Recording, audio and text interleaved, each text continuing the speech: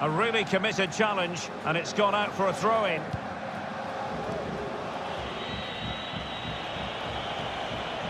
Sterling crossing. Well, in fact, a bit too close to the goalkeeper, and that was always going to be claimed. This attack looks highly promising. Oh, it's mischievous. Oh, we have just witnessed a special moment. Pure quality.